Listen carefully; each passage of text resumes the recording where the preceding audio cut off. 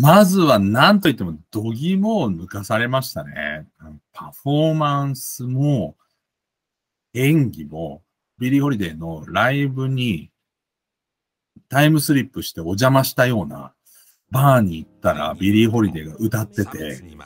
そこに行って、伝説の、まあ、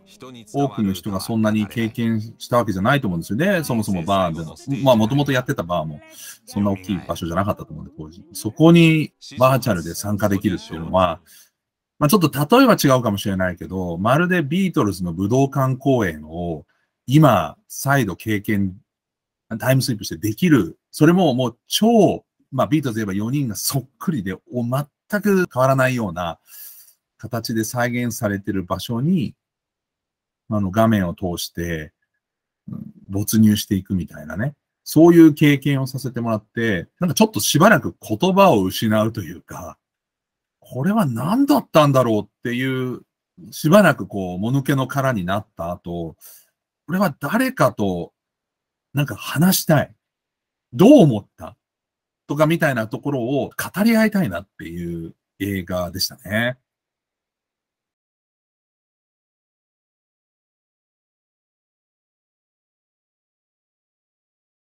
まあ、結論から言えば、すべてをこう見た上で言うと、彼女に並び立つような人は今もいない気がします。ただ、えっと、いろんな要素を言うと、例えば、その FBI から目つけられていたとか、時代を大きくその動かすきっかけになったっていう意味では、まあ、ジョン・レノン。まあ、彼も、まあ、最終的に命を、まあ、あの、これは落としてしまうわけですけれども、まあ、ジョン・レノンは平和を歌い、まあ、オノ・ヨーコさんと共に、あの、看板を出したりとか、まあ、そういう意味で、まずジョン・レノンまあ、すごくイギリス版ビリー・ホリデーと言ってもいいかなという、ちょっと世代はジョン・レノンの方が若いですけどね。まあ、というのが、その、なんだろうな、その政治的に世界を変え、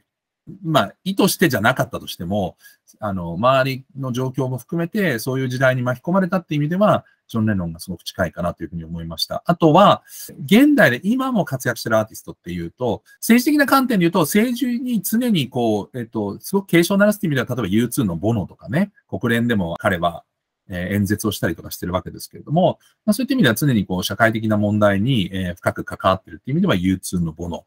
えー、あとはですね、これはま政治的な話ではないんですけど、時代を変えたり自分を表現するっていうことを、真っ先にして、現代の今の若いアーティストの、まあ、先導をしてるっていう意味では、エルトン・ジョン。まあ、当時彼がまだ出始めた頃って、例えば同性愛者であるっていうこととかをこう表現することもすごく難しかった。でそんな中で、まあ、でも彼はあの常に自分らしくいて、自分を表現することを遠慮しなかったというか、まあ、まあ、戦ってきたとは思うんですけどね。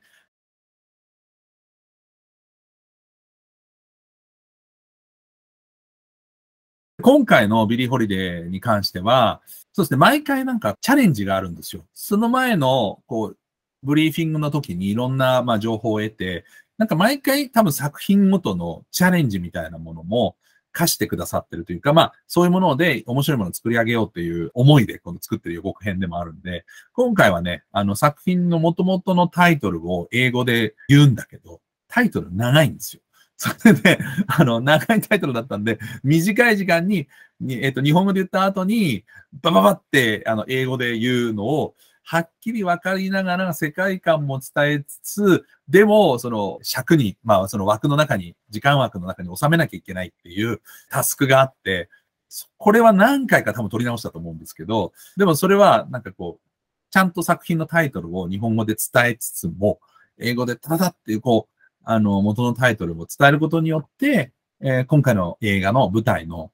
世界観が伝えられるという、まあ、思いの中でやったんですけどね。これが、まあ、あの、とても自分の中では印象的でした。